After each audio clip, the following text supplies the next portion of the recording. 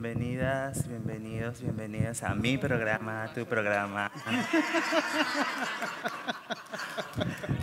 Hoy vamos a conversar. Lita. Bueno, a ver si nos despertamos, porque después de ese almuerzo no me puedo abanicar. Me dicen por acá, tengo que morir de calor. Supongo que el ruido del micrófono, del viento en el micrófono, entonces, si yo me deshidrato y me desmayo, ustedes me recogen. Eh, gracias por estar acá eh, en esta sesión, esta jornada bastante intensa. Estamos repitiendo acá, Mayoko y yo, y me siento a gusto en familia, aquí con las compis, los compis, les compis, ah, intentando pensar otros horizontes, intentando pensar otras formas de hacer la cultura, de vivir la cultura, de no separar la vida de la cultura ni la cultura de la vida. Esta cosa que hicieron los blancos de separar naturaleza y cultura como si fueran cosas distintas, sino vivir la cultura como parte de la vida y la vida como parte de la cultura, yo creo que es importante y estamos acá para intentar dialogar sobre experiencias localizadas, encarnadas, territorializadas, de asociaciones y agrupaciones que, bueno, que estamos intentando y están intentando sobrevivir en este espacio llamado España desde la cultura. Y algo que nos convoca tiene que ver con la visibilidad, la invisibilidad, los límites que existen en esto, eh, la autorrepresentación, los desafíos a partir del el sostenimiento de la cultura, uh, las estratégicas, son estas como los vectores que hemos dibujado para conversar eh, esta tarde. Cada uno de los participantes tendrá un tiempo específico para hablar desde su experiencia, divinamente, cómodamente, frescamente, glamurosamente. Y luego habrá Q&A, preguntas y respuestas. No sé quién quiera comenzar, si... Uy, que esto está en vivo, pero tú también O sea, es como una cámara por aquí otra por acá. Esto es para tu mamá. Saluda a la mamá. ¿Cómo se llama tu mamá? Lucina. Lucina, saluda. Qué fuerte todo esto. Te ves muy bien, te ves muy bien. Gracias, siempre. Bueno, entonces no sé quién quiera comenzar a contarnos y a narrar, bueno, su experiencia. Son libres de comenzar quien quiera. Estamos acá, Espacio Afro, Periferia Cimarrona, Catarsia y los aplausos. Ahora sí me siento en talk show como un sitcom, que digo aplausos y suenan los aplausos.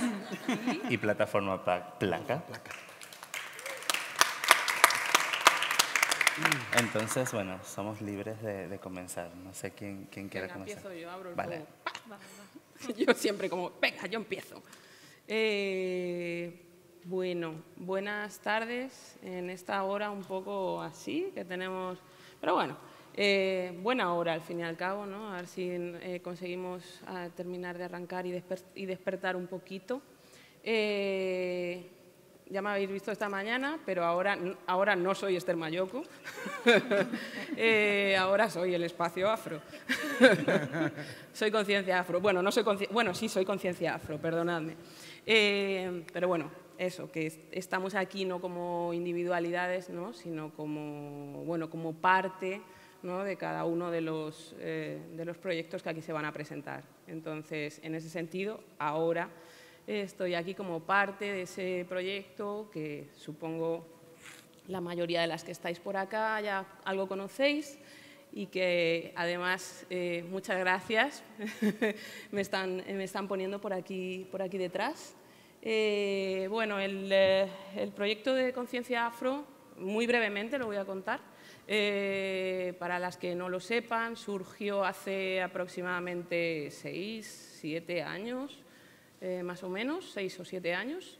Eh, y bueno, surgió fundamentalmente a raíz de un festival.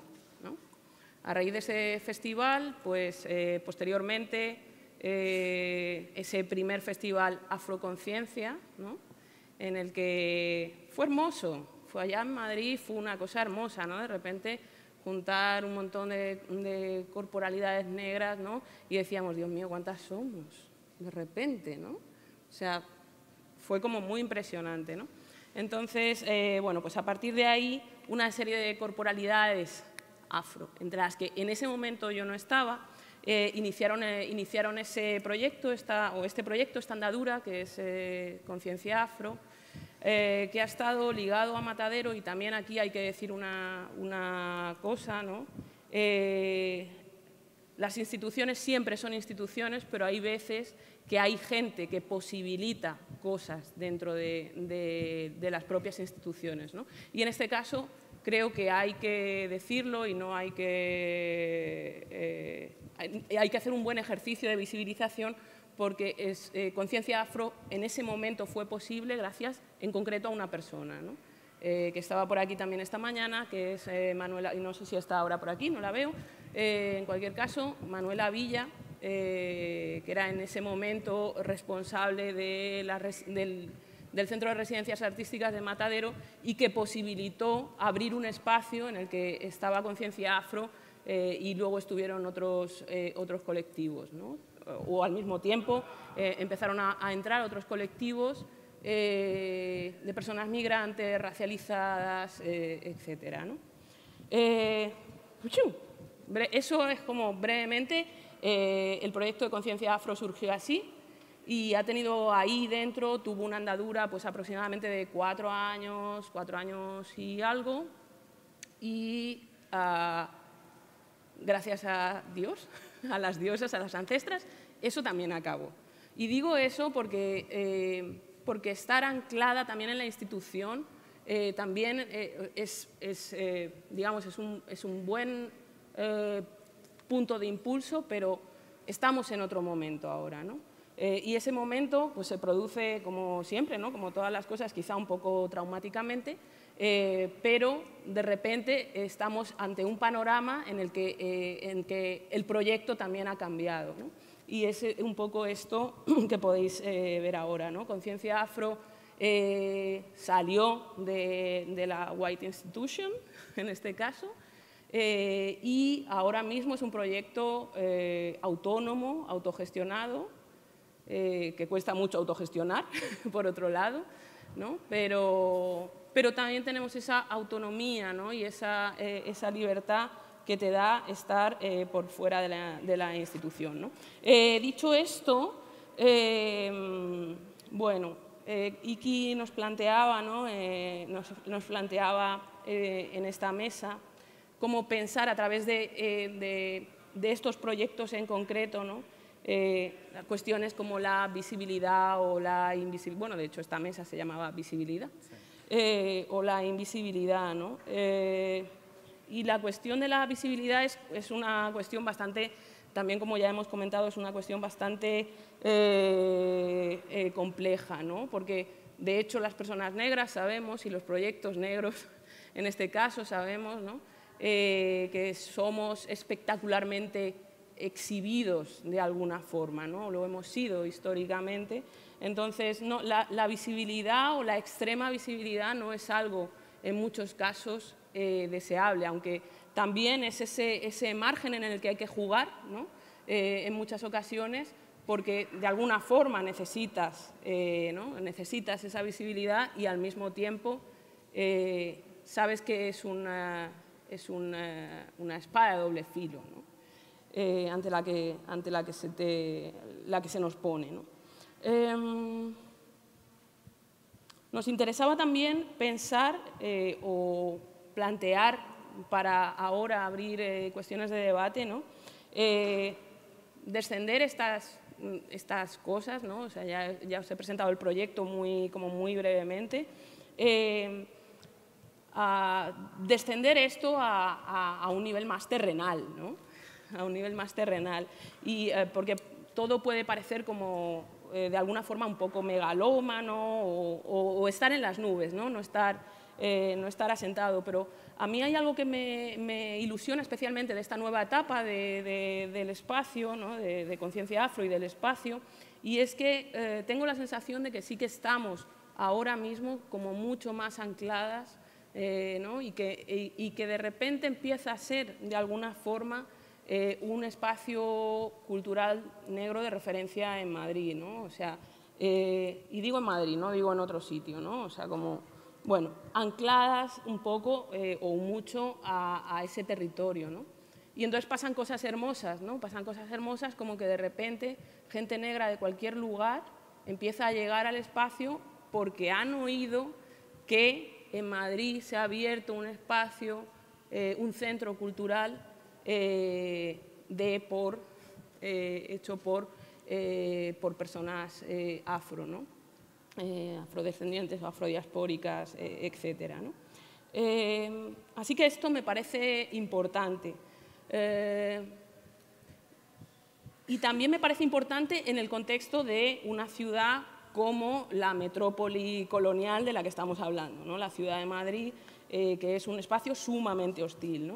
Entonces, poder abrir estos, digamos, estos espacios de fuga eh, dentro, de, dentro de, como digo, ¿no? de un espacio tan hostil, me parece importante. ¿no? Eh, esta mañana y, estos días de atrás, cuando hablábamos sobre esta mesa, planteábamos la idea de, de si esto puede ser un cimarronaje, un cimarronear eh, la cultura, ¿no? Hacemos el juego con, con las periferias.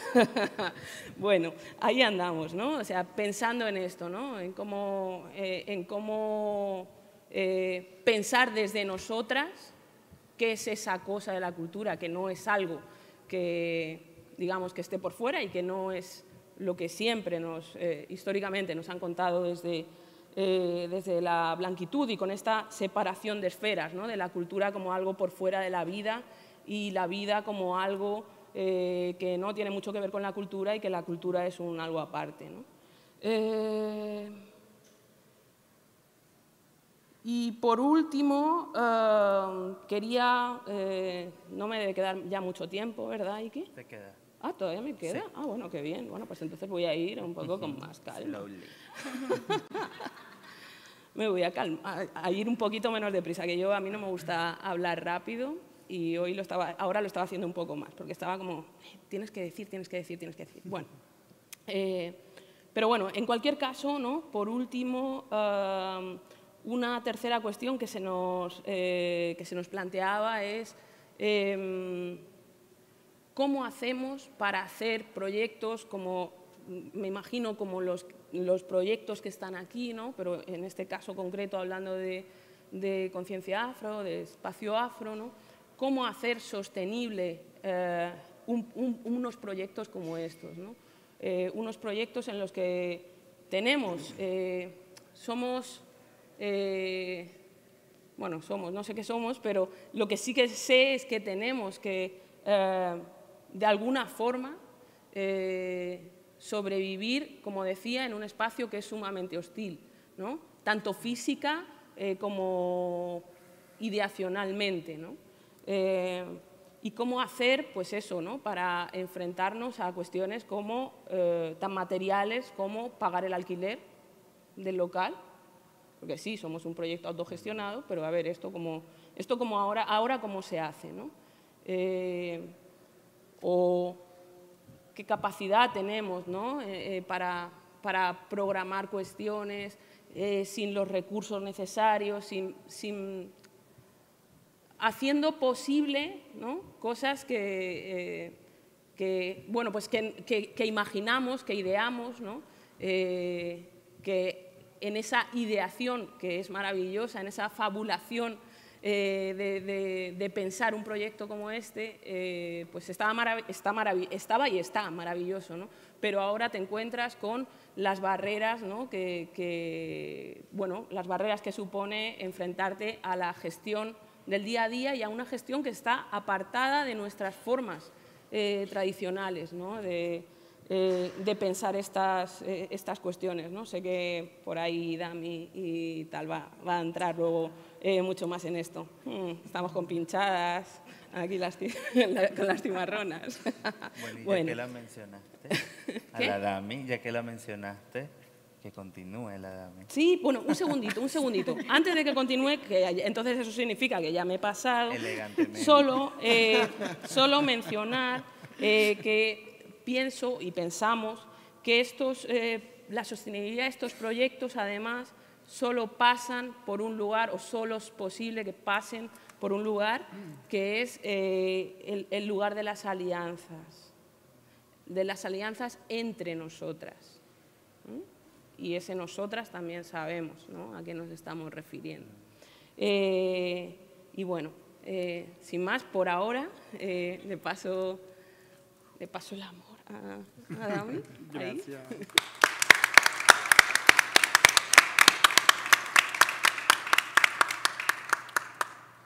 Bueno, buenas tardes, buena, buenos días, buenas noches, no sé, están por ahí también en el mundo viéndonos viéndonos. Telemundo, Televisa. Sí, viéndonos, sintiéndonos. Ojalá que puedan sentir también, bueno, un poco los nervios y el cansancio y todo lo que forma parte aquí del estar aquí exponiendo, contando quiénes somos, qué hacemos, eh, a qué nos dedicamos, qué cosas queremos, cómo nos imaginamos el mundo en el que queremos vivir un poco y cómo vamos poquito a poco eh, construyéndolo, ¿no?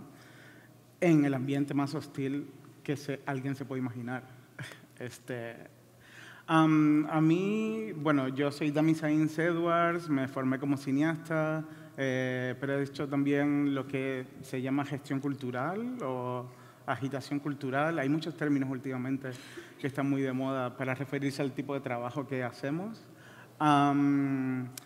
Este, llevo trabajando en la periferia cimarronas desde hace bastante tiempo eh, y siempre he estado como vinculada a las personas que lo, que lo construyeron, que lo iniciaron ese proyecto. Ah, y creo que una de las razones principales por las que me metí a trabajar en la periferia cimarrona, además porque me caen muy bien mis compañeras y son amigas, son gente que admiro mucho, que es súper importante, ¿no? Como esa admiración, esa ganas de estar ahí con gente que quieres y, que admiras, era porque era un espacio muy interesante para uh, problematizar eh, ideas como, o términos ¿no? que nos llegan mucho, como son la ah, integración, la inclusión, la diversidad, um, ¿cómo son estos otros? Interculturalidad.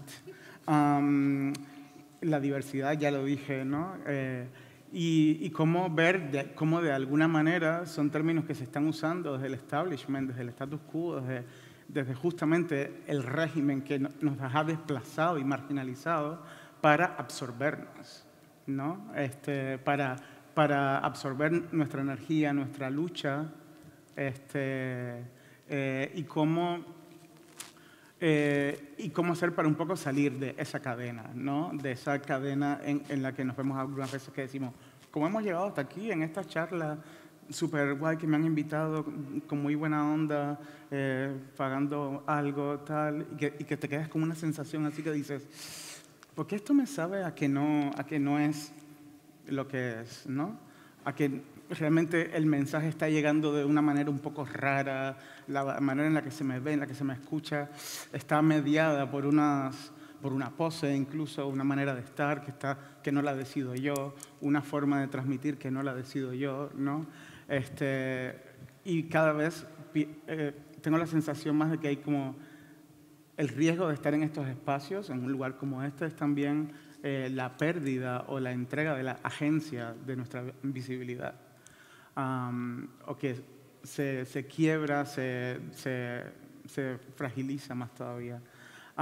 y un poco algo que atendemos mucho en la periferia cimarronas es esa, esas sensaciones, esas cosas que no, no lo puedes decir, pero dices, ay, me he quedado con un sabor rarísimo después de ir a hacer un bolo a tal lugar, después de dar una charla en tal lugar, después de... Y a esa sensación intentamos atender, intentamos darle lugar, en plan, oye, ¿qué tal? ¿Cómo fue esto? ¿Por qué? ¿Qué sientes? Vamos a investigar. También para, no solo para decir si sí o si no, sino también para decir cómo, para establecer nuestro propio eh, marco en el cual podemos, eh, eh, bueno, pues ser agentes de nuestra visibilidad y un poco atendiendo a esas voces interiores, intentando generar condiciones para que esas voces interiores eh, nos hablen más claro y que podamos escucharla más en medio de todo ese ruido que es todas las ofertas que nos llegan, todo el ruido de las subvenciones, las convocatorias, tal, escucharnos, ¿no? Eh, porque hay un poder muy grande entre nosotras que no, no se quiere que lo veamos, no se quiere que lo sintamos, no se quiere que nos reconozcamos en ese poder. Ah, y la periferia puede ser un espacio, la periferia cimarrona puede ser un espacio muy lindo para que eso ocurra. ¿Cómo? A través de la cultura, a través del, del arte, de las artes vivas, de entender el arte, entender la cultura como una herramienta de transformación social vinculada a la comida, vinculada a la espiritualidad, vinculada a cuestiones de la vida cotidiana, ¿no? Este, eh, a partir de las artes vivas, del teatro, de la performance, de bueno, el cine también, y problematizar incluso los límites que hay entre esas artes, ¿no? Entre, no, el cine, esto es cine, no es performance. Bueno, ¿qué? Hacemos Cine Club Queer, que es cine y performance. Eh, cómete esa. Ah, ah, entonces, es lindo, ¿no? ¿Cómo intentamos hacer eso? Claro, el principal objetivo es convertirnos en agentes de nuestra propia visibilidad, ¿no? Dejar, intentar construir una propia agenda, salir o, o, intentar trascender esa agenda que nos tienen impuestas, ¿no? De las convocatorias a las subvenciones, de las llamadas para charlas en no sé dónde, tal, y crear nuestro propio marco, nuestra casa, nuestro hogar, para desde ahí decir, vamos para allá, ¿no? Eh, y bueno, ¿cómo hacemos eso? Pues intentando, bueno, generar esas condiciones para escucharnos, haciendo brujería, incorporando eh, formas de espiritualidad, rituales espirituales en nuestra praxis, en nuestro trabajo, poniendo también en un lugar muy céntrico el cómo nos sentimos, ¿no? Hay una cosa que me gusta mucho hacer, también porque soy piscis y así muy emocional, pero de empezar una reunión diciendo, ¿y cómo nos sentimos?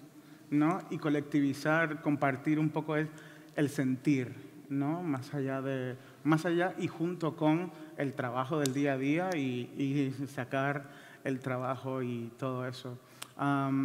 pero también incorporar rituales eh, de brujería, de santería, de, eh, de, espiritismo, de lo que sea en nuestra praxis, ¿no? Eh, que son muy importantes, que se han convertido, que siempre fueron técnicas de subsistencia, de supervivencia de nuestras ancestras. Somos herederas de ese poder y vincularlo a nuestro trabajo también es un poco eso. Otra cosa muy importante es, porque se habla mucho del trabajo, eh, del trabajo, de la labor, de la lucha activista, antirracista, el arte venga herramienta, transformación social, pero otra cosa que para mí es muy importante es el lugar que le damos al descanso hay que descansar, hay que respirar. Estamos cansadas y estamos cansadas de estar cansadas, de decir que estamos cansadas. Y entonces, como eh, yo no he visto todavía una subvención para que las personas negras o indígenas en España descansen. Yo estoy esperando esa subvención. Apelo, llamo, hago un llamado a las instituciones porque el sistema, de hecho, el esa agenda que nos imponen tiene mucho que ver con hacernos trabajar más. NAPCO. Exacto. Un llamado a la siesta. Aquí, este no era el país de la siesta, pues nosotras nos merecemos siesta. De verdad.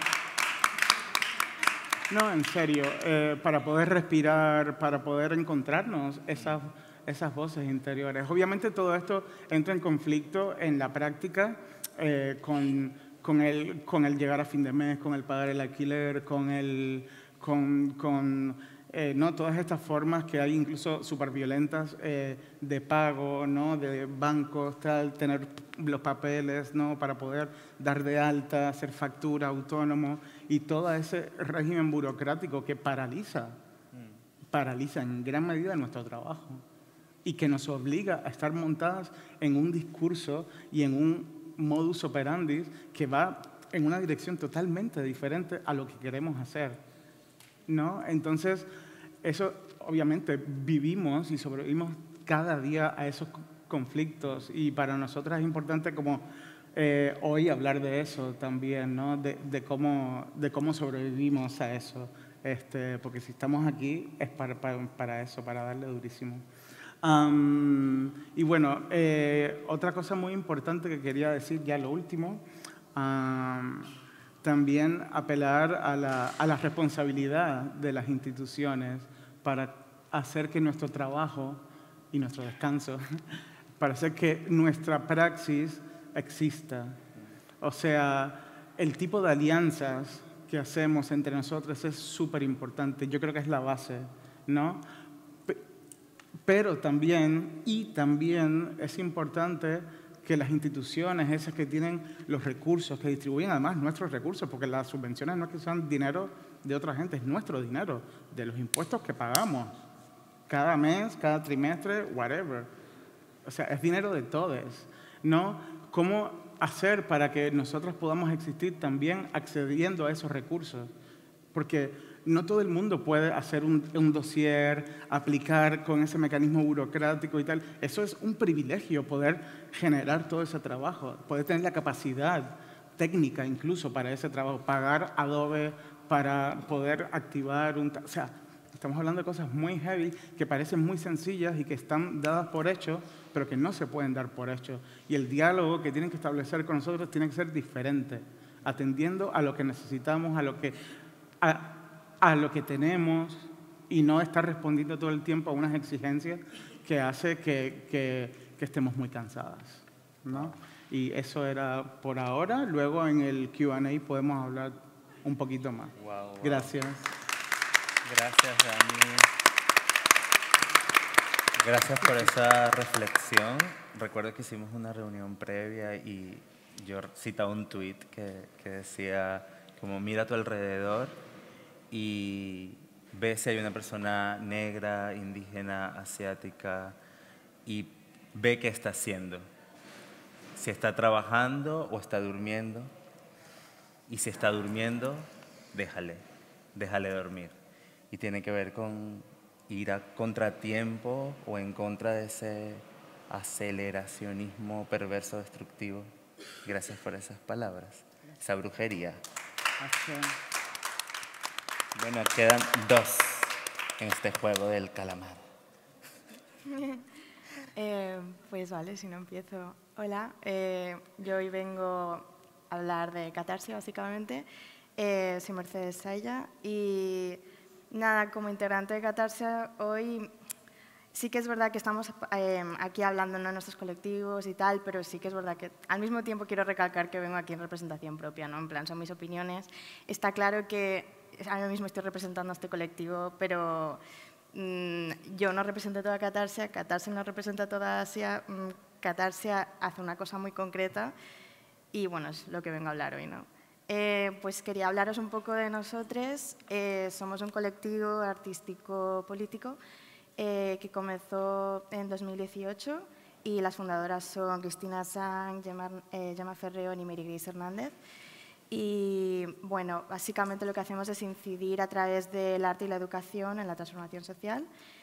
Y mm, tenemos diferentes, bueno, a lo largo de los años hemos hecho muchos proyectos, hemos impartido muchos talleres, hemos ido a colegios, teníamos una obra de teatro foro, hemos hecho muchísimas cosas. El, el problema, o no problema, pero lo que ha pasado en los últimos años, lo que nos hemos dado cuenta es que no llegamos a todo y por varias razones que contaré a continuación. Pero a partir del año pasado, más o menos, dijimos, bueno, pues vamos a centrarnos en un proyecto en concreto, que es el festival que llamamos Furiasia.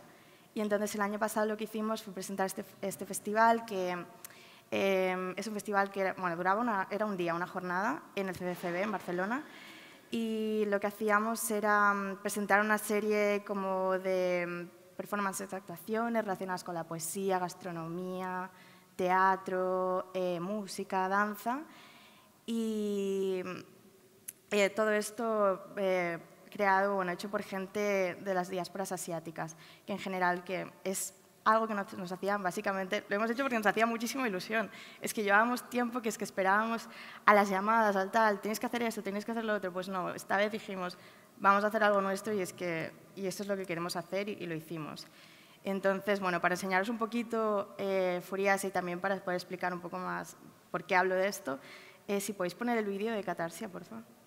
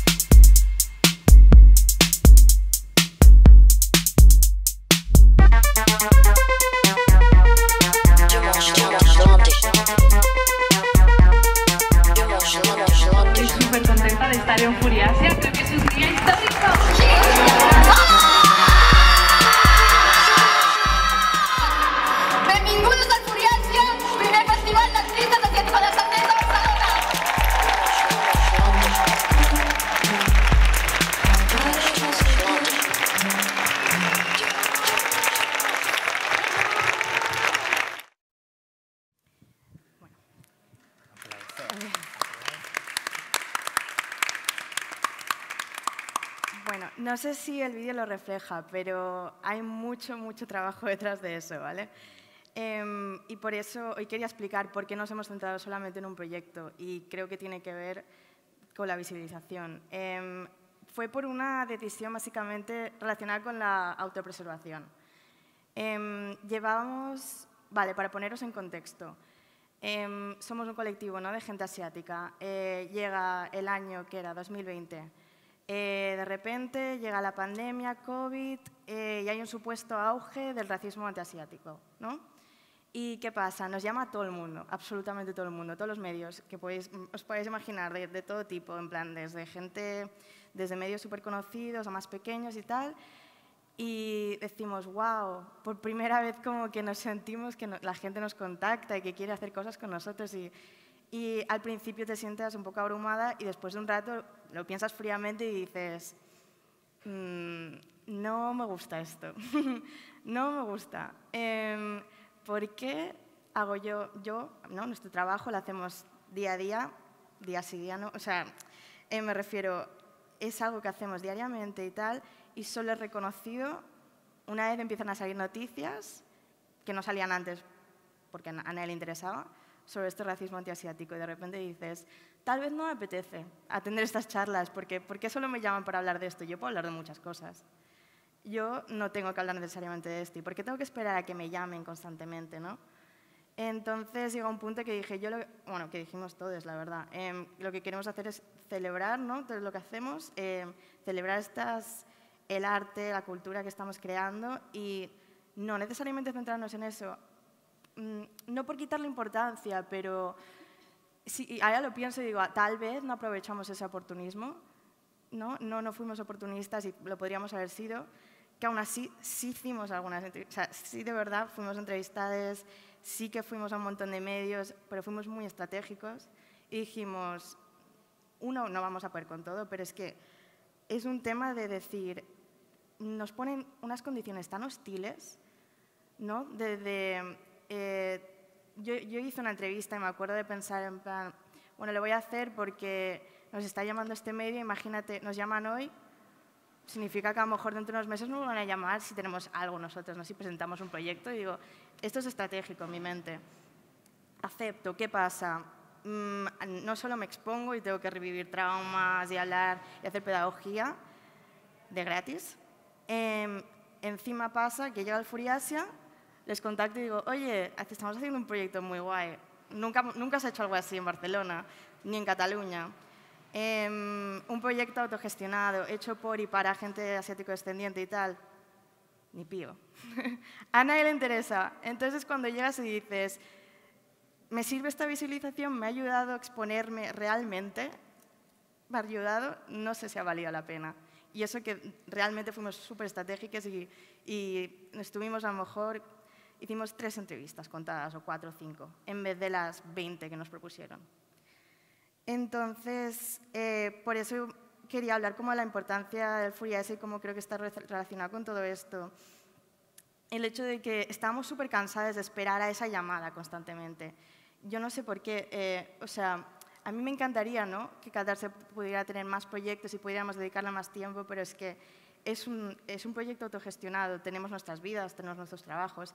Hoy por hoy, Catarsia no, me paga de vez en cuando de forma puntual, no voy a decir que no, pero no me paga el alquiler, no me paga las facturas.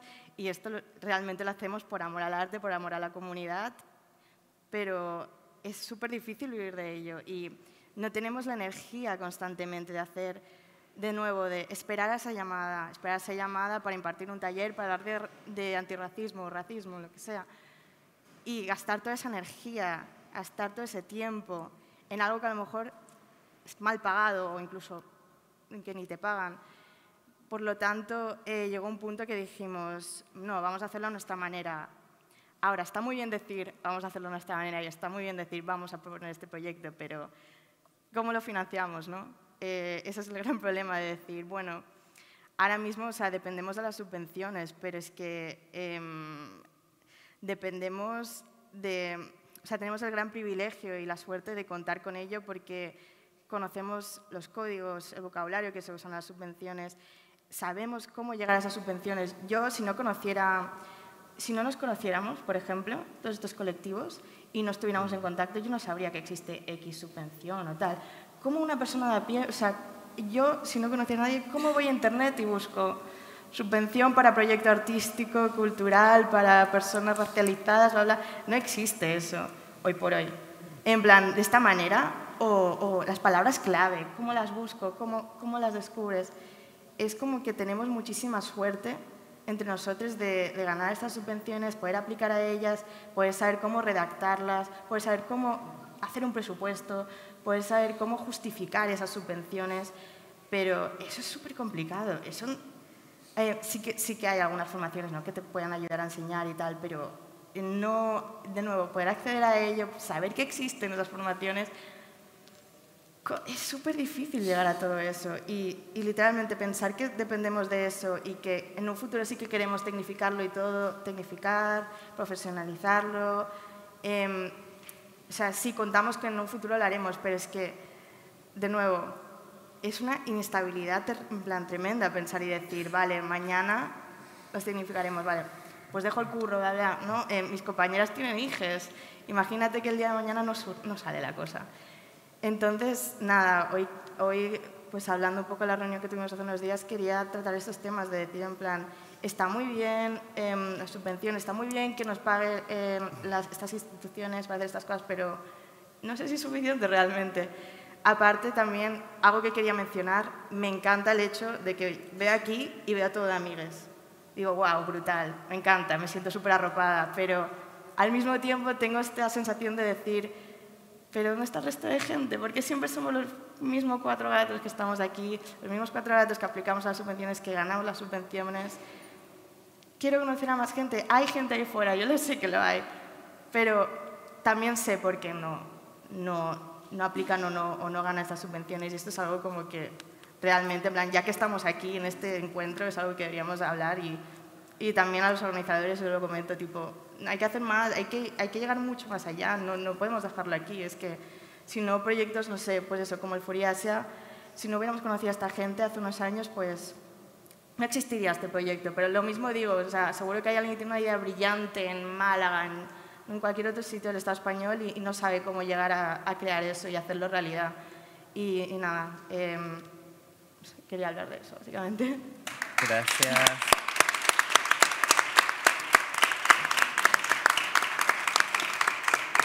Gracias, Mercedes. Nunca es suficiente. Como que siempre es necesario seguir expandiendo las redes, inclusive subterráneas, para llegar a todos estos colectivos que, que no pueden llegar acá. Y le paso la palabra ahora a Iván, de Plataforma Placa. Gracias. Del territorio también, con mucha experiencia en el territorio. Te escuchamos. Ok, gracias. Bueno, eh, ¿qué tal? Muy buenas tardes. Eh, wow, qué increíble mesa. He hecho algunas anotaciones, yo creo que al final me gustaría mucho conversar con ustedes porque es verdad que la, la experiencia que compartimos es una. Eh, yo vengo a compartirles ahora algo que nos ha sucedido aquí en Sevilla. Somos eh, un proyecto que se llama Chilango Andaluz. Surgimos aquí en el año 2006 y somos, eh, básicamente es como un tren a alta velocidad. Entonces preparé con un video, un poco porque queremos hacer visibles las cosas que estamos haciendo y se los quiero compartir de parte de un, de un grupo de gente muy grande. O sea, creo que estoy haciendo cuentas y en los 16 años que llevamos, si son 60 coordinadores, las personas que han pasado por aquí son pocas. Entonces me toca representar ahora mismo pues, a todas esas personas y con esa fuerza pues, me gustaría a la vez decirles, esto es un pastel muy grande que no podemos comer solas, necesitamos compartirlo y todo lo que voy a enseñarles ahora está bien por ustedes. Entonces si puedes ahí por favor, eh, Víctor, compadre, dale play.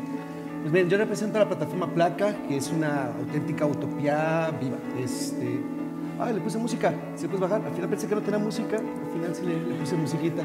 Perfecto, nacemos aquí en Sevilla en el año de 2006, un poco con la intención de crear un espacio para la poesía. Había, había una cosa como llano, donde todo era como muy similar, donde todo se estaba replicando y nosotros dijimos, bueno, ¿por qué no? creamos un festival que eh, conecte regiones a través de la poesía de las artes. Creamos el Recital Chilango Andaluz, que ya lleva va a llegar a 17 ediciones. Este festival cambió la vida poética y escénica de, esta ciudad. A partir de esto, tiempo después surgió lo que se llamó la perfopoesía. Y bueno, aquí hay algunas, hemos puesto ahí como algunas cifras de lo que ha pasado, porque es una cosa que se mantiene viva. En el año 2007 comenzamos a hacerlo entre México y España con internet, con un cable super precario, pero lo hicimos en su momento. Son nueve ciudades en las que hemos llegado allá. Los nombres que han participado, participó todo el mundo de Andalucía, todo el mundo de, de Ciudad de México participaba año con año, pero siempre metíamos como muchas otras artes que confluían hacia la poesía. La poesía siempre fue como nuestro eje, ¿no? Y los participantes eran más de mil. Eh, hemos creado la editorial Ultramarina, un proyecto que lleva ahora mismo más de 100 libros y que estamos distribuyendo entre México, en toda España, estamos en, en Estados Unidos. Ahora les voy a contar unas cosas bien extrañas que están pasando con Estados Unidos. Aquí les pongo unas de las novedades porque estamos publicando mucha literatura escrita por americanos hispanos que están viviendo acá en España, intentando como abrir esos espacios, ¿no? Eh, gente de Venezuela, gente de Chile, de Perú, de Colombia, de México. Eh, este es el proyecto con el que, en el cual en abril se llama Poesía on the Road. Nos fuimos a 13 ciudades de Estados Unidos con 30 proyectos de España. Éramos como los embajadores de España por Estados Unidos cruzando el continente. Y básicamente lo que hacíamos es llevar la experiencia de gente como nosotros, que estamos aquí con ustedes, a hablar a la gente de allá, conectar con la gente de allá y venimos de vuelta con un montón de proyectos para decirles, oigan, en España están haciendo estas personas estas cosas, ¿no? ¿Y quién está haciendo esto en Nueva York, en Cleveland, en Ciudad de México? Pues son estas personas, el puente. Las Nuevas Miradas es un, pues, es un proyecto de lleva ocho generaciones de, pues, de poetas menores de 29 años. Nos interesa muchísimo conectar con la gente joven una de las cosas que pasó fue que, eh, hombre, obviamente envejecimos, nos hemos hecho unos viejitos, pero queremos escuchar a la gente joven porque nosotros tenemos un cierto tipo de experiencia, pero no vemos el mundo como lo ven ustedes. Y necesitamos ver el mundo también con, ese prisma desde las distintas eh, ciudades en las que ustedes se encuentran. Hay ahora mismo una convocatoria abierta porque lo vamos a hacer, el próximo, empezamos la próxima semana en Granada, vamos a Huelva, Nueva York, Madrid, Ciudad de México, Sevilla, y todo lo generamos a partir de internet. ahora mismo no estamos localizados en, ningún lugar. Ultramarinos, que fue nuestra sede aquí en Sevilla, estuvo abierta durante ocho años, lo cerramos. Esto es, otro, otra de las cosas que estamos haciendo, traer estudiantes de Estados Unidos para mostrarles un poco la diversidad de lo que se está originando en ciudades como en Sevilla, en Madrid también lo vamos a hacer. Veladas Ultramarinas es un ciclo que lleva ya como nueve años, micrófonos abiertos donde invitamos a un montón de poetas para que dialoguen, para que intercambien experiencias. Eh, creo que era, no sé, creo que vamos por nueve temporadas de eso. Docencia, nos gusta compartir la conocimiento. Estos talleres GREC son talleres de difusión de edición cartonera. Si alguien conoce los libros cartoneros, Ultramarina nació siendo una editorial cartonera. En este momento tiene otros formatos, las bien digitales. Pero nos gusta, eh, estos talleres los hemos abierto, hemos abierto editoriales cartoneras pues, en un montón de ciudades de estos tres países, ¿no? Eh, ¿Qué más? Vamos, a respirar un poquito porque les digo que esto, les decía que esto lo en alta velocidad y no lo miraba. Contagio es una serie de entrevistas que hemos hecho a las personas que han sido parte de este proyecto para contar la historia, porque nadie la contaba. Es decir, todo esto que están viendo ustedes ha quedado, si, si ven las cosas de Sevilla, es como si nunca hubiera existido. Y todo esto es como súper real. Entonces, las personas que han sido parte de ello, las entrevistamos, para, que, para dejar un, tipo de código, un tipo de, de, experiencia previa. ¿no? Las plaquetas ultramarinas son eh, pequeños objetos regalo que damos a la gente con poesía del otro lado del charco. Transparencias, este es nuestro ciclo dedicado exclusivamente a la creatividad eh, de las mujeres en lo contemporáneo. Lo hemos desarrollado ya en, eh, bueno, en diciembre tenemos la octava edición, la hacemos en Ciudad de México y está dedicada a, a Yari Luders, una poeta, una poeta mexicana que vino aquí en España, murió bastante joven, con 30 años. Esto lo hicimos en la embajada, con gente como Gabriela Wiener, Sara Van, Laura Casielles, Carolina, eh, Santalla, que es una fotógrafa trans de aquí de Sevilla, Gabinete Salvaje. Este es como un evento donde agarramos muchas artes y lo mezclamos hacia la poesía. Y terminó siendo, durante la pandemia, un fanzine eh, digital para las redes sociales. Esto solamente se emite en TikTok y en Instagram. Contemporáneos es este ciclo que nosotros utilizamos para hacer visible la labor de los inmigrantes de los que están.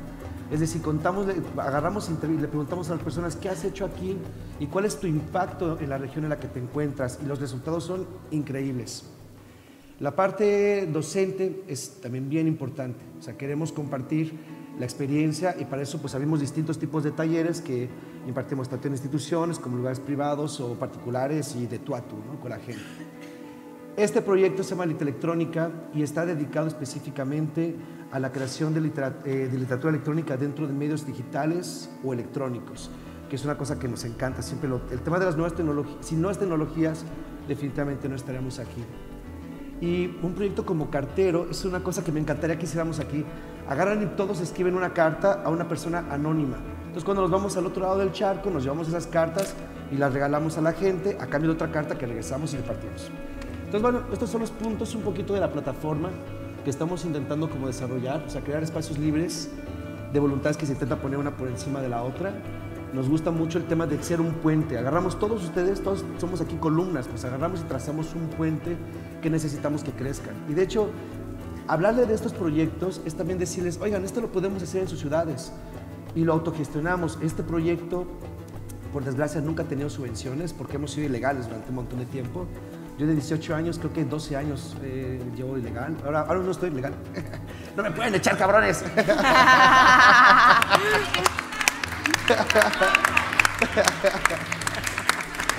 bueno, yo no, pierdo, no pierdo, no pierdo, la verdad. Entonces, este, aquí termina. Este, ocho minutitos y ya El ave, el ave. es el ave a alta velocidad, ya. Slow down, slow down, bajamos. ¿Ya? ¿Podemos bajar? No es el café, es la hiperactividad, ¿eh? Siempre es así. pueden echar cabrones. Eso es sí, vamos a estar. Una, una serie de estas. Ah, gracias de verdad por compartir esta experiencia, por compartir el cansancio, por compartir la rabia, la frustración también, la emoción, la excitación, los desafíos. Y creo que sería interesante escuchar las palabras del público, la gente que quiera preguntar y pensar en, en estos desafíos y estas andares, ¿no? Me quedo con cimarronear la cultura, me quedo con el descanso y, y quiero escucharles, pregunten, cuestionen. Ah, mira por aquí. Sally. Cartonera. Ah, mira, es un formato que es un formato que nace en Argentina en el 2003 y básicamente la idea es agarrar cartón, cartón de la calle, reciclarlo, pintarlo, pintarlo con un grupo de gente y intentar hacer como la publicación lo más económica posible. Esto sale en Argentina en la época del corralito. Y extrañamente nosotros la abrimos la editorial en la etapa de la crisis aquí del 2008-2009, que fue una etapa, yo creo que no sé si la han vivido, la mayoría vivió, pero fue súper fea, ¿no? ¿Y qué es lo que pasó? Que nosotros como veníamos, yo soy mexicano, vengo de un lugar donde cero ayudas, no hay, no hay ayudas para nada sabemos cómo originar las cosas. De hecho, eh, Ultramarina se originó con cero euros. Bueno, o sea, se dice que con cero euros porque no teníamos dinero para hacer la editorial, pero sabíamos cómo hacer las cosas. Sabíamos cómo montar, agarrar los elementos. Eso, ahora que hablaban de magia y que hablaban de chamanismo, en México nosotros entendemos eso como, como magia y chamanismo, ¿no? Mm. Agarrar lo que tienes y cambiar tu entorno a partir de esa voluntad. Creo que esa experiencia, como crear una editorial cartonera y crear un punto de trabajo, de hecho, un día me agarró en Barcelona la policía y me preguntaban qué, estaba haciendo, ¿no? Ya le decía, bueno, pues estoy dando trabajo a la gente de España. ¿Cómo que estás dando? Pues sí, tenemos una editorial cartonera donde le pagamos a los ilustradores, le pagamos a los artistas, le pagamos a los poetas y yo no tengo papeles, pero si tengo papeles, ¿cómo me, cómo me garantizas que va a estar mejor si estamos ahora mismo todos tan mal? Entonces, básicamente, la editorial, la editorial es un motor económico para nuestro proyecto. No vendemos mucho, de hecho se vende poquito con las cartoneras, pero ha sido un motor que ha sostenido el proyecto. Porque ya te digo, no, no tenemos sponsor, no tenemos una institución. De hecho, esperamos que llegue pronto esa institución porque después de 16 años creo que ya hace falta ¿no? un poquito de apoyo de parte de las instituciones sevillanas. Lo que pasa es que no veo ninguna. Hay una cosa que queda preguntarles. Claro. ¿Dónde están? Es una, cosa que quería decir hace rato, ¿no? Hay una institución sevillana aquí. Y yo creo que sí, había 50 en la mañana, yo no sé qué pasa. ¿Quién falta, güey? Están tomando el té. ¿Quién se fue? Está tomando la siesta. Y yo, pero me vine a trabajar, ¿Están tomando la siesta o el té? Sí. Los sponsors, where are you? ¿Alguien más quiere preguntar algo? Ah, por aquí. Eh, eh Oli la mayoría de las subvenciones, ¿no? Eh, como que hacen competir, nos hacen competir, ¿no? Entre mm. una, otra, otra tal, ¿no? Que, lo cual es bastante perverso por un lado. Y por otro, no, o sea, eh, la, la pregunta. Sí. Eh, ¿Cuál es la sensación cuando ves que la asociación donde está tu colega consigue la subvención para la que tú también has aplicado y tú no? ¿Puedes hacer la pregunta de nuevo? ¿Qué nos ha pasado? ¿Qué- ¿Qué nos ha pasado? A ver.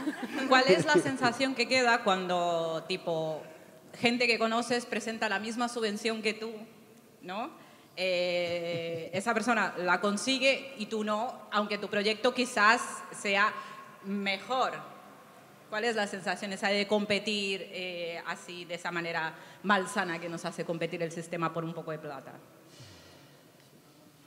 Vale. eh, sí, le Sí, doy. sí.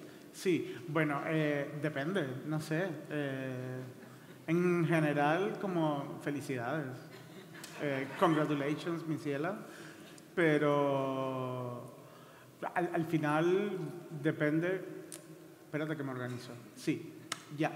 ¿Qué pasa? Que el problema no es la sensación que tenga yo o que tengan otras personas, el problema es el régimen de competencia eh, al que, del que nos hacen participar, ¿no? al que nos obligan a participar para, para eso. ¿no? Cuando hablaba antes de, de, de cómo está establecido una manera única, un modus operandi para acceder a esos recursos, eh, em, son maneras que implican competitividad, son maneras que implican eh, eh, limitaciones para gente o para colectivos que no están formalizados, por ejemplo, eh, que no tienen un régimen jurídico o que no sé qué, para, para los cuales les es mucho más difícil ¿no? el, el acceso. Este, son condiciones muy, muy, muy difíciles para acceder a esos recursos, muy difíciles. Y, y no solo tiene que ver con el tema de la competencia, también tiene que ver con el tema del propio tiempo, del tiempo en sí, ¿no? Del, de la organización del tiempo, eh, porque te obliga, por ejemplo, a que el- los proyectos se ejecuten en unas eh, temporalidades muy específicas, que muchas veces no tienen nada que ver con la- las temporalidades abiertas o discontinuas que pueden tener nu- nuestros proyectos, este, o por, no sé, por ejemplo, nosotras eh, eh, convertimos un almacén de carpintería en un teatro. Hola, Hola. gracias. Hola, en una sala de teatro de 60 capacidades.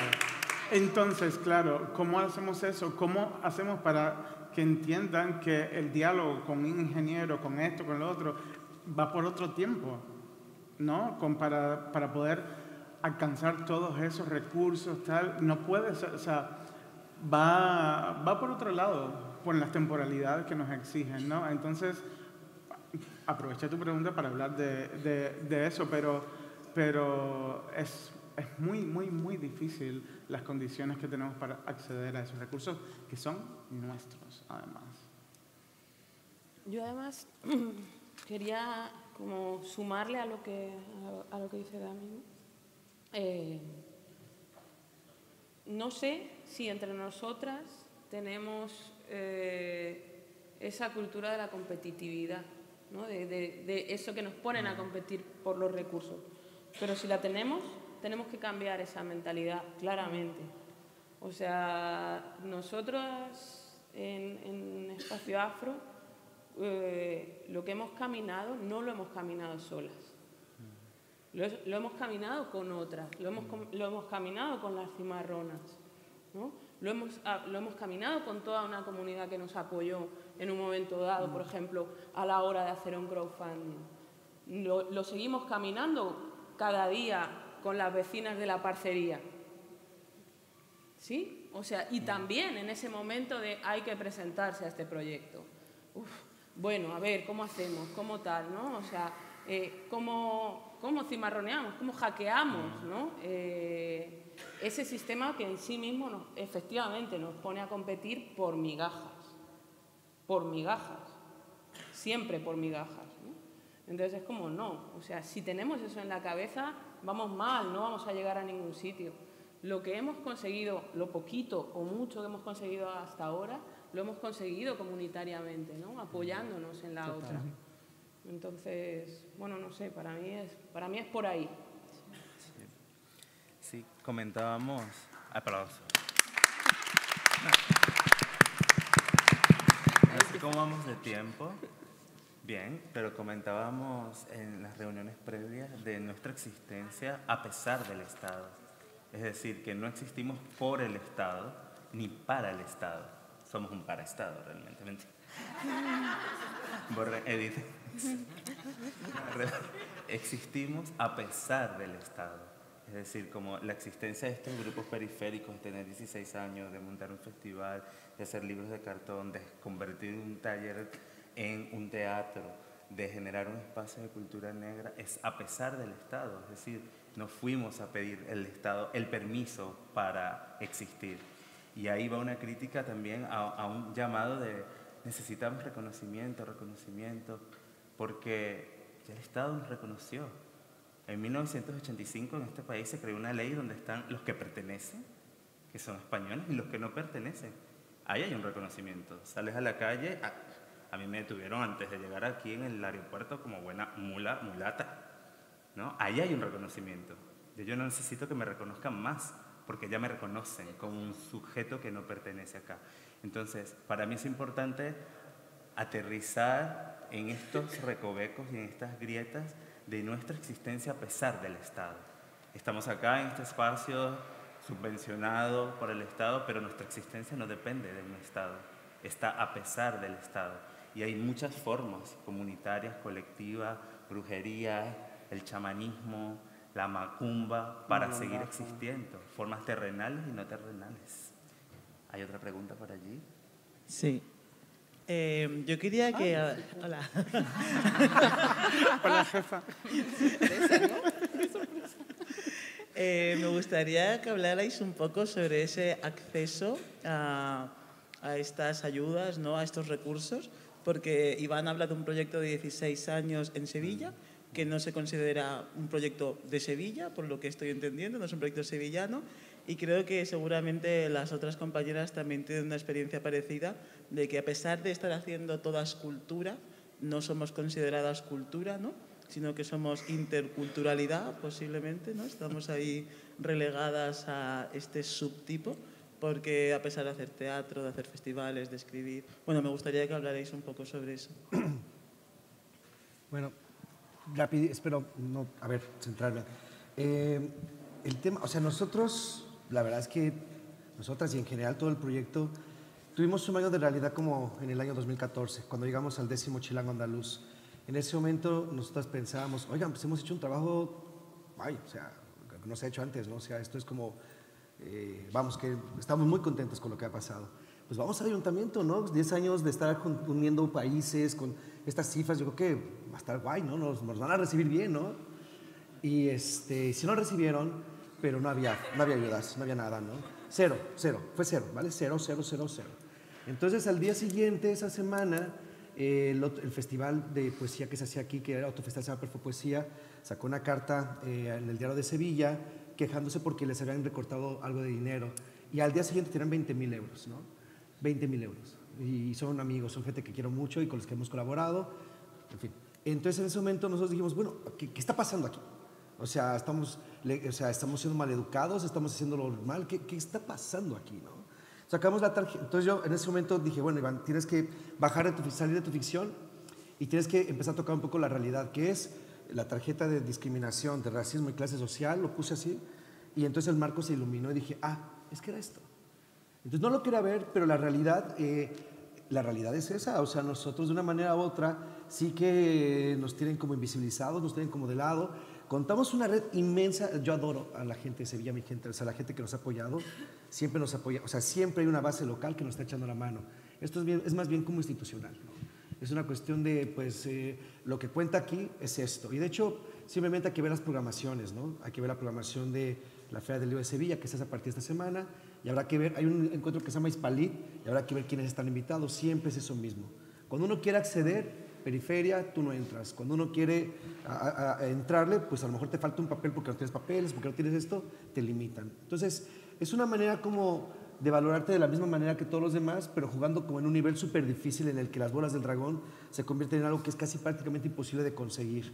Y eso estoy hablando de los papeles, estoy hablando de cómo se gestiona un proyecto cultural. Entonces nosotros lo que hemos hecho es agarrar nuestro propio camino, crear nuestro propio espacio Y en eso nos hemos sostenido y decidimos, si vamos a seguir adelante, probablemente nunca nos echen cuenta, ¿eh? probablemente nunca nos llegue una subvención, o sea, puede que alguna vez suceda, pero no lo vamos a hacer de esa manera. Entonces hemos seguido como en esta parte como punk de la vida y aquí seguimos, ¿no? Pero un poco conscientes de que probablemente no nos llegue esa ayuda. Y, probablemente no nos, en este momento afortunadamente puede que no nos, o sea, sí nos hace falta, claro que sí, pero sabemos cómo hacer las cosas sin eso.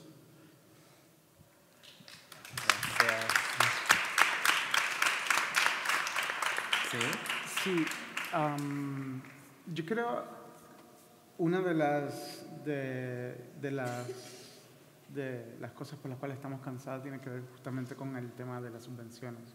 Lo hablamos muchísimo, ¿no? De, ah, mira, una, venga, otra, ¿no? Cada vez que ponemos en el grupo o que vemos que sale una subvención, como, ah, venga, dale, a ver si tenemos tiempo, ¿no?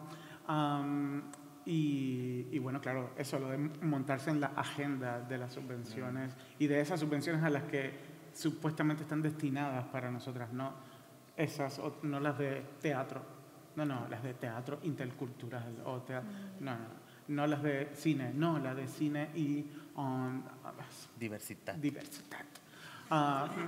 Eh, entonces, ¿qué pasa? No? ¿Cómo, ¿Cómo, también lo que hemos pensado mucho es en plan, bueno, ¿cómo hacer para, para salir de esa agenda? Para a la misma vez que estar, crear la propia nuestra y decir, pues vamos a financiarnos creando nuestro propio sistema de subvenciones, mm. Que es con la gente. Gente, esto es una familia, eh, para que el espacio exista, eh, no puede depender solo, además que ni siquiera depende, eh, pero de las subvenciones y de el dinero estatal o, autonómico y todo esto, eh, sino que es con el dinero que todo el mundo pone. Porque hay gente que puede poner dinero, hay gente que puede poner tiempo, hay gente que puede poner eh, comida. Mm, comida, un arrocito con frijoles y rico que me hice, tal, mira gente, vamos a comer y vemos esto y hablamos, porque esos son recursos también, ¿no? Ahora estamos haciendo, aprovecho para decir, que estamos haciendo una campaña de eh, captación de fondos que, tiene, que apela a eso, en plan, gente, mira, puedes poner 35 eh, euros al año o 50 euros al año o 100, si vas a la página web lo ves, y eh, apoyas a la periferia cimarrona, apoyas el arte que hacemos y haces también que no estemos todo el tiempo dependiendo de un sistema de subvenciones que no nos quiere que no nos quiere o que nos quiere como nos quiere. Este, y eso también es súper importante, saber que no, solo, no es cosa del Estado. No, hay ojalá y el Estado hiciera más cosas por ustedes. No, Cari, tú también. Nos toca a todos, ¿no? Nos toca a todos. Y sobre todo a la gente que puede, gente con nómina, gente, esa gente que se gasta incluso muchísimo más dinero en otras cosas y después dice, ay, ¿cómo puedo hacer para ayudarte? Cari, o sea, está ahí te lo pongo en bandeja. O sea, suelta, suelta la plata. Es importante eso también.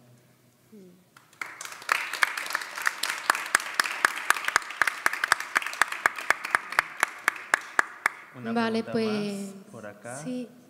Yo quería aportar algo de luz sobre lo que decíais de la competitividad en las subvenciones. Y es que bueno, hemos creado una red de cultura comunitaria que se llama REAC, y hemos lanzado una convocatoria que se llama la anticonvocatoria y que obliga justamente a cooperar entre proyectos para poder recibir los fondos. Y se ha abierto justo hoy. Así que os invito a bichearlo, REAC, R-E-A-C-C. Y bueno, ahí estamos, luchando por la cultura comunitaria y este tipo de iniciativas que se acercan un poco más a la realidad. ¿no? Aprovecho también para dar publicidad sobre esto, ¿no? sobre la red de cultura comunitaria y que eso, que, la, que, que entréis, que veáis lo que hacemos y que creo que es muy necesario este tipo de, de redes de hacer cultura en chiquitito, cercana, situada. Bueno, ahí lo dejo. Gracias. ¿Dónde lo buscamos? Pues es una red de agentes y espacios de cultura comunitaria. Somos un montón de gente, es a nivel estatal y hay varios nodos. De hecho, se acaba de formar también el nodo sur, aquí en Sevilla. Eh, somos, no sé, como ciento y pico ahora mismo. ¿Y dónde lo buscamos? En internet está React. sí, React, sí. Ok, gracias por el dato y a sumarnos a la red. ¿Alguien más quiere preguntar? Yo, Creo que quería, queda... yo quería, ah, yo quería una cosita con la pregunta que había Cerramos contigo. La hermana. ¿Sí? sí Uy, Dios mío, qué presión. vale, bueno, pues era con la pregunta que había hecho Silvia y que, y que ya habíais contestado, ¿no? Pero quería volver al, al no reconocimiento ¿no? de nuestros espacios como espacios eh, creadores y portadores y difusores de una cultura que no de una cultura que además no se entiende como, eh, como territorializada, como una cultura de cada uno de los lugares también en los que, en los que estamos eh, ejerciendo eso. ¿no? Y por un lado eso es tal cual. ¿no? Eh, por otro lado, me acuerdo cuando nos estaban ahí haciendo como las entrevistas para el crowdfunding, no sé qué, un poco de para moverlo y todo esto, ¿no? Que yo siempre lo pensaba en estos términos. Madrid, no sabéis la suerte que tenéis.